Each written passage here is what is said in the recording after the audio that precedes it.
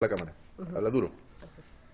Mi nombre es Lorena Jaramillo, eh, soy clienta del abogado Rafael Gómez. Acabo de salir de, una corte con un caso que tenía con él. Salí muy satisfecha por, por los resultados de la corte, se lo recomiendo como un gran abogado.